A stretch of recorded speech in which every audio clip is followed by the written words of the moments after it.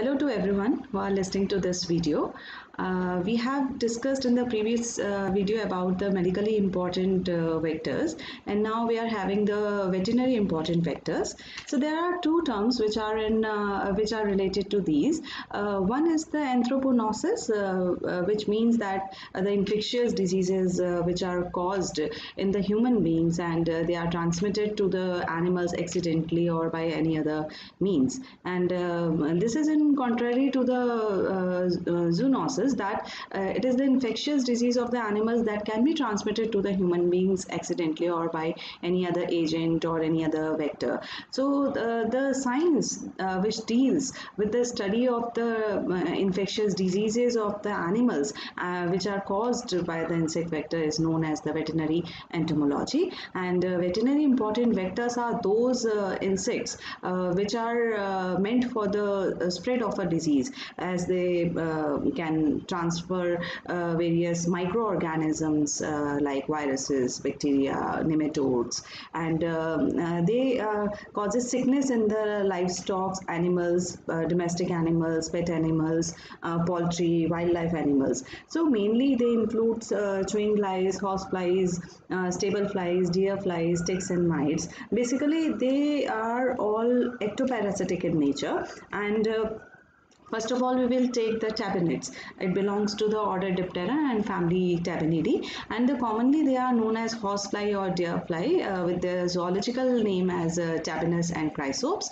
Uh, there are about 4,000 species. All are uh, blood-sucking uh, flying uh, females which are ectoparasitic and there is a difference between the deerfly and the horsefly which are marked by the smoky wings and yellow markings on the thorax and abdomen. Um, in whereas the horseflies are having the uh, smoky or hyaline wings uh, with or without having uh, small spots. Uh, so they are widely distributed in wetland, uh, grassland, salt marshes, swamps and forest canopies etc. And mm, they transfer the pathogen Francisella tularensis and Loa Loa worm in the host organisms like horses, livestock, wild animals, domestic animals and sometimes man also.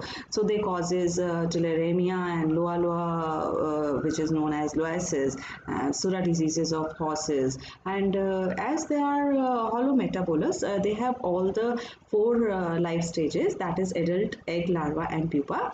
So the adults are exophilic and exophagic means they rest outdoor and they feed outdoor and they are medium to large sized flies which are 5 to 25 mm long and they are strong and swift flyer as they may travel few kilometers um, uh, due to their powerful wings and uh, they feed several times in a day. The adult um, lifespan is 2 to 6 weeks and they are brilliantly colored with banded body and they are having the compound eyes which are iridescent and uh, large and the proboscis are strong and short. Uh, they are having pulvilliform empodium on their legs and the wings are transparent. Uh, sometimes they bear uh, brown spots also. So females are generally the blood feeders while the male are the nectar feeders. But when the female bites, the blood oozes for several minutes uh, from the host body. Uh, so the adult fly lays 5 to uh, 6 batches of the eggs in clusters uh, under surface of the leaves or on the stems or water bodies, wetlands and which hatch in a few days. Um, and they actually uh, uh, emerges um, the after hatching the caterpillar is emerges out in the aquatic and semi-aquatic habitat and the larvae are long and cylindrical having brown to gray color and uh, there are about 7 to 13 larval uh, stages are there and fully mature larva is 3 centimeter in size which is in inactive and uh, then it stops feeding while the rest of the stages are carnivorous and they are having retractile cephalic capsule three segmented thorax and eight segmented abdomen. These are the distinguishable characters of them.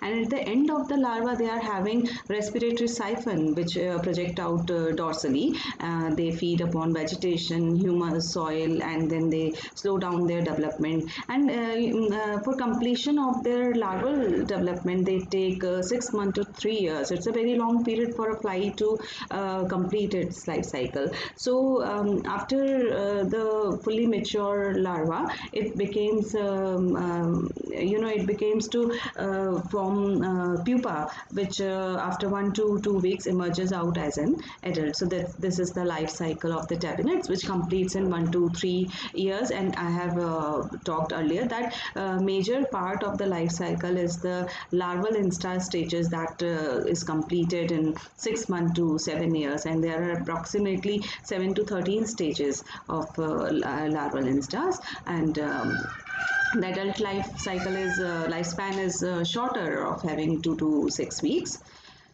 so the pathogenesis is, uh, uh, they actually, they are the mechanical vectors of rickettsia or filarial worms and they transmit anthrax, Q fever, uh, Lyme disease with other diseases. Like Francisella tularensis is a bacteria that causes tularemia due to the vector deer fly and it also uh, causes uh, uh, the spread of the Loa Loa worm and in forming infectious disease like loasis or calabar swelling. Um, they also, the horsefly also is a carry the pathogen Trypanosoma evansi, which uh, uh, causes the disease Surra disease of horses and uh, camel in Asia and Africa, while elephant skin disease in cattle is caused by the pathogen Besnoitia besnoiti, which is a, protozoan. And the loasis is commonly called as um, the calabar swelling, which is caused by the transmission of the Loa Loa worm, which is commonly known as eye worm also, and it shows the diurnal periodicity as it at the night time time it travels to the superficial blood vessels while at the daytime uh, they are uh, resting in the lungs. So they causes uh, localized swelling on the wrist and ankle. This is the character by which we can identify the infection of the uh, tabanids. So they spread um, the infections by mechanically transmitting the uh, pathogens. So the control can be done by the spraying of animals uh, mm, uh, from atrovan EC 11% or permectin second and also the water management is the important uh, thing that uh, we can consider for the um, control of the vector and the growing vegetation around the margins of the pond and development of the habitat of the domestic animals are the alternatives by which we can control the tabanids. Now the second is the stable fly. Uh, it belongs to the order Diptera and family Muscidae. Uh, genus are uh, Stomoxys and Hematobia and they are commonly called as biting housefly or dog fly or power mower fly. There are about 18 known species and uh, they are synanthropic means uh, they exploit food and habitat developed by the human activities. They all are obligatory blood suckers as you know the females are uh, strictly uh, they live upon the blood because they have to uh, produce their eggs and they are dependent for their development for the protein diet so they get it from the blood meal. Uh, so they are widely distributed all over the world like United States and New Jersey, Florida. These are most affected areas and the pathogen they transfer is the Habronema. Uh, in the um, animals uh, like host animals uh, like domestic and wild mammals uh, like cattle or horses or dogs and rarely human beings also. So it causes a painful bite, allergic reactions and um, it, it is you know it causes the blood-borne zoonotic diseases. They are holometabolous and having all the four stages. So the adult is medium size 3 to 7 mm and it is similar to the housefly but the mouth parts are different as the uh, housefly is having the sponging type of mouth parts while the stable fly is having piercing and sucking type of mouth parts. Well uh, both of the genres are identified by uh, difference uh, in having um, in difference having the palpi. That is the most important character. And the stable fly are having uh, seven circular spots on abdomen like a checkerboard but the biting housefly are having the spots in an irregular manner. So uh, they can be distinguished by each other. And they feed two to three times in a day and the adult lifespan is about uh, four to six weeks. So the adult female adult lays uh, eggs where organic matter is uh, much abundant. And uh, they lay eggs in the clusters and clutches containing 60 to 130 eggs. In totality they um, lays uh, 800 eggs in their whole of the lifespan So the eggs are small sized, uh, 1 mm in length and white colored when laid, sausage shaped, but they are having a characteristic feature like uh, it has a small curved uh, surface on the one side and a straight longitudinal groove on the other side. So the egg hatches in 12 to 24 hours and it forms the uh, vermiform caterpillar. So there are three larval stages and hence they molt two times. So first instar larva is transparent 1 to 1.25 mm mm in length. And the third instar larva is pale yellow to creamy white in color but they are having two spiracles placed posteriorly and contains a mouth hook and uh, it is 12 mm in length and uh, uh, the caterpillar actually needs high humidity for their uh, full uh, development. Uh, they feeds on the fecal matter and the decaying vegetation and it takes about 12 to 13 days for their development and then the third larval instar forms the puparium which is capsulated red brown in color and 6 mm in length. So interior side is broader than the posterior side and it takes uh, 5 to 7 days for their uh, pupation period. And then an imago emerges. And after one hour it is ready to fly. And it takes 5 to 7 days for mating. So that's the life cycle of the stable pipe which is completed in 28 days. And uh, uh, there are three larval instar which take 12 to 13 days and uh, uh, lifespan of the adult is 4 to 6 weeks. So here are the figures, you are uh, looking into the figures. So you can see that the stable fly is having longitudinal strips on the thorax like the housefly but the housefly and the stable fly are different in having uh, different kind of mouth parts. So they causes painful bites, uh, allergic reaction, restlessness. We have discussed it before. But they also act as an intermediate host and they carry habronema or um, caterpillari, which is a nematode which causes the horse uh, stomach um, infections. And uh, they also transfer mechanically transfer the viruses like equine infectious anemia, anthrax, and African uh, swine flu and lumpy skin disease of cattle. They also cause such kind of a disease diseases also. So the control measures include the um, proper monitoring of the vector so that we can avoid the outbreak. Uh, use of uh, sticky traps to trap the adults, uh, the development of the local habitats of the animals and the removal of the feeding hair residues as it provides the best uh, breeding site for the stable fly. Um, we can also control them biologically by uh, using the parasitoids and the parasites and uh, by the use of insect repellents.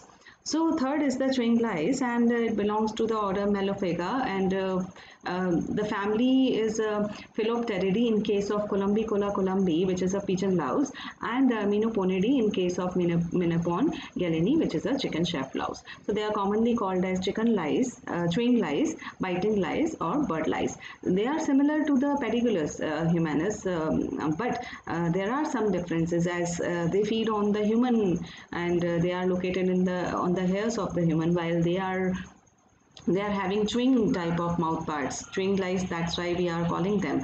They are having uh, mandibulated mouth parts as they chew the uh, feather and uh, furs of the birds and the mammals. So there are about uh, 300 known species and they are obligatory ectoparasitic in nature. And uh, uh, the biting lice species feeds on the feather bird feather. They have two clawed leg while the species feeding on the mammal fur have one clawed leg. So they are widely distributed all over the world and um, um, they they causes the fur or skin damage or reduction in the feather and they uh, can feed on the blood by uh, wounds.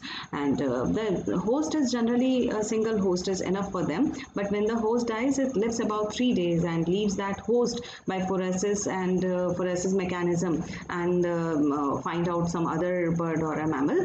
And but it, it does not affect uh, infect the aquatic birds and mammals animals as they are not adapted in uh, aquatic habitats. So they shows incomplete metamorphosis having only three stages that is adult again nymph. So adults are tan to brown color and uh, they are small sized. They are uh, mostly 4 mm in length but larger species may reach up to uh, 7 mm. So the head is larger than the thoracic uh, segments. This is the identifying characters of them and uh, their antennae are uh, 3 to 5 segmented having biting and chewing type of mouth parts because there is no need of eyes. So eyes are reduced or absent. There is no need of wings so wings are also absent. They prefer to grow on the feather of the chest back and shoulder of the host body so uh, they uh, the female lays eggs which are commonly called as nits and uh, they lays in the groups after every two to three weeks. So the eggs are laid at the base of the feather which are oblong white and uh, 1 mm in size.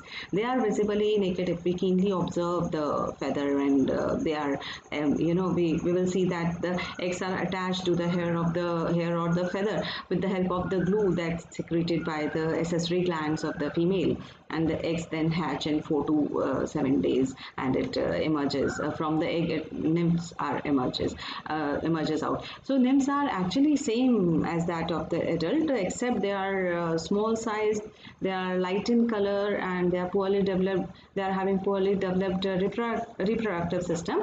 And there are three nymphal instar which takes two to three weeks for completion of their metamorphosis so that's the life cycle of the chewing lice completed in four to five weeks totality. And uh, uh, you can see that the head is larger than the thoracic segment. This is the identifying character of this animal. Uh, Next is the pathogenesis.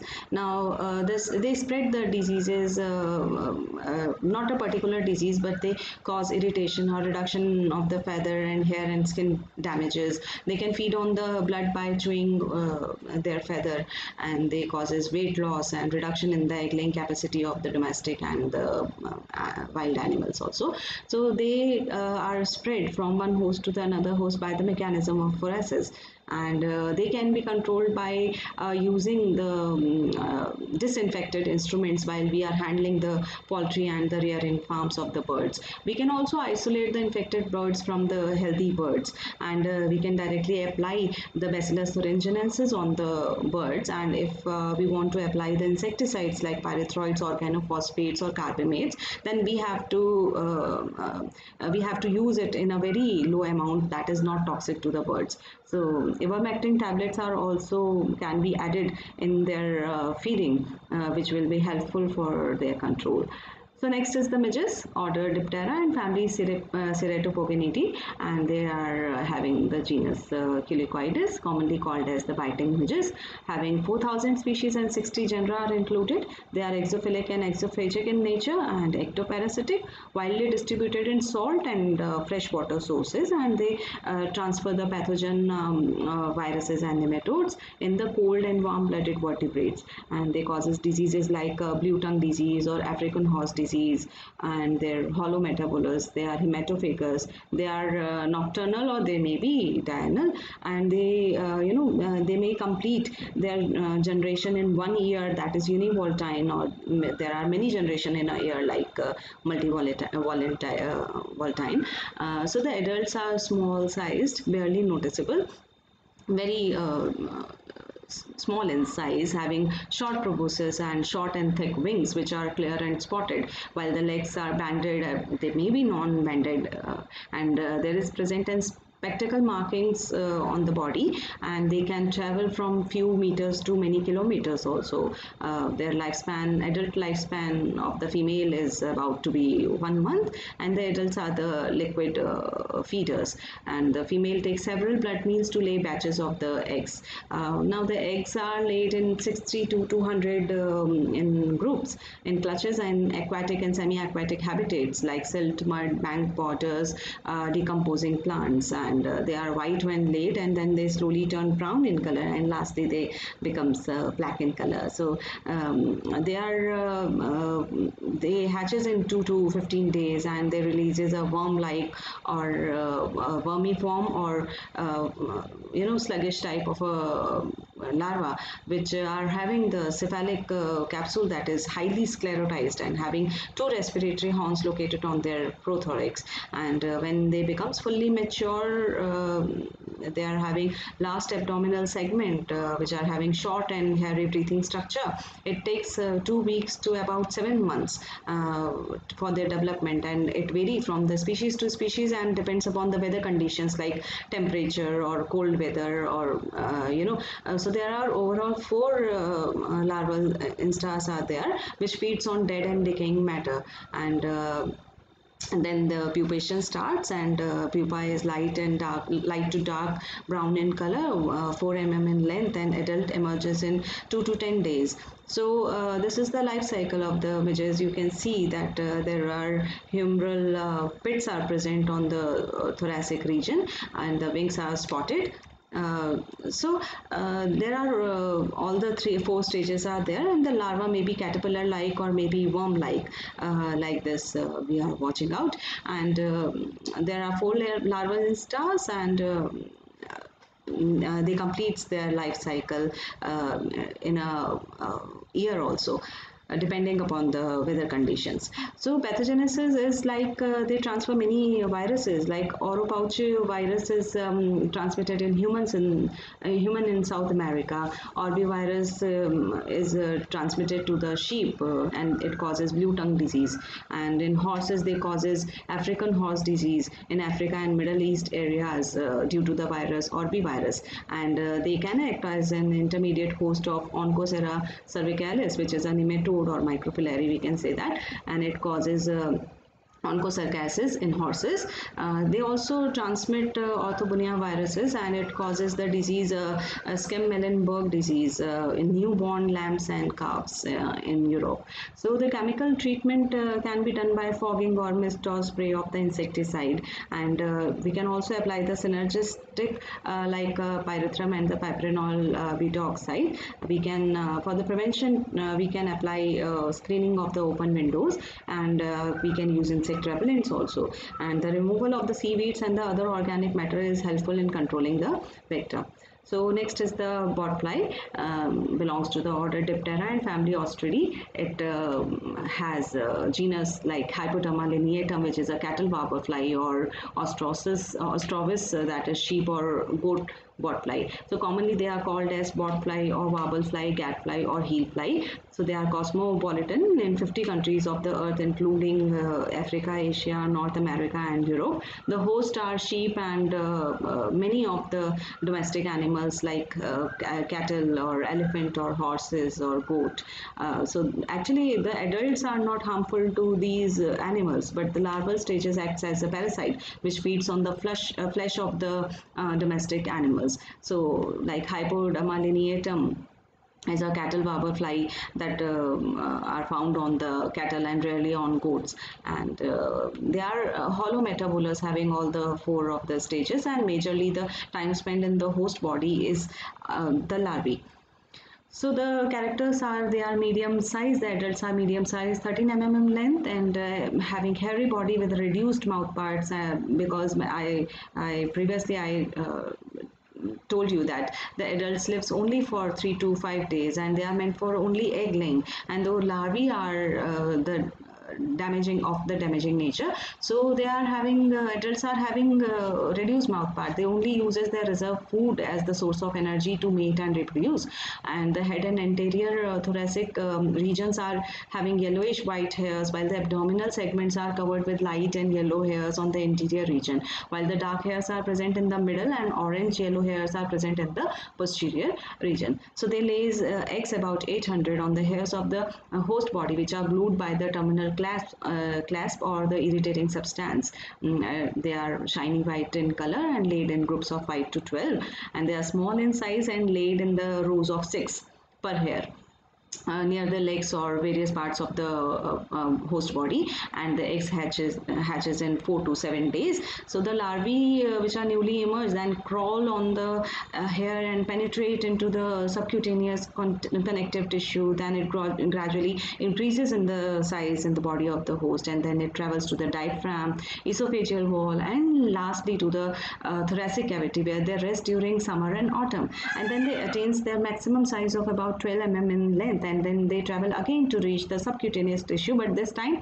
they travel to the back region of the animals during January and February. And if they are licked by the host they are travel to the stomach uh, and then they excrete it out of the body with the feces. And they causes swelling which is known as the warble on the back which is 3 centimeter in diameter from uh, where the larvae projects outside. And there are about three larval uh, stages. And the young larvae is white and yellow brown in color. And the fully mature mature larvae is 25 mm in size and having a flat tubercle with uh, small spines on all the segments except the last uh, one uh, spines are present. So it takes 30 days for their development period and the fully mature larva then falls on the ground and penetrates in the soil for pupation and the puparium is black in color which uh, undergoes uh, pupation and then an imago emerges out when an operculum and it takes 35 to 60 days for their development. So whole of the life cycle is completed in uh, one year um, having different um, uh, stages of their life cycle having egg, larva, pupa and the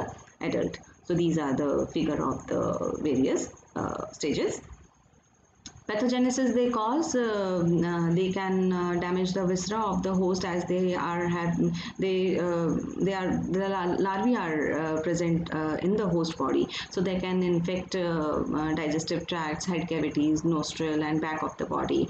And if they are present in the head region they can cause vertigo or the blind staggers. So they also causes weight loss reduction in the milk production irritability production of cyst or wobbles on the back of the body and when if they penetrate into the muscle they causes the myiasis so control treatment involved is the mechanical removal of the larvae. If we squeeze the uh, uh, they can be mechanically removed. We can also apply insecticides uh, such as systemic organophosphates on the back of the um, uh, animal body. And drinking water can be mixed with the insect growth regulator so that we can inhibit the pupa and the larval uh, stages. Uh, and we can use plastic strips which are medicated and tied on the cattle legs. And application of ivermectin is also useful uh, with uh, you know we can apply male sterile technique we can apply chemicals uh, repellents and smoky bombs also. Uh, and immunization with the vaccine of hypodermin A against the larva is uh, really helpful in controlling this uh, vector. So there are other veterinary important pests also like uh, black fly um, comes under the family Simuliidae um, it uh, transmits the trypanosoma confusum and it causes simuliotoxicosis in horses, mules, sheep and goat while the uh, pathogen Onchocerca lienalis is, uh, causes the bovine onchocerciasis um, due to the vector Simulium uh, gingiesi and uh, the other is the Hematobia irritans which is commonly called as the hornfly comes under the family Muscidae and it can transmit uh, Stephanofilaria uh, which is a spirulate nematode and it causes uh, Stephanofilariasis in cattle. And by transmitting the bacteria Staphylococcus they can cause mastitis in dairy cows. Uh, so uh, what we have discussed today is uh, really very important as far as the animals are concerned and they can directly or indirectly affect the human beings also. so the importance of the veterinary, veterinary um, vectors are I think understood by you all. So thanks to all of you who are listening uh, to this video carefully uh, since I have started. Thank you so much.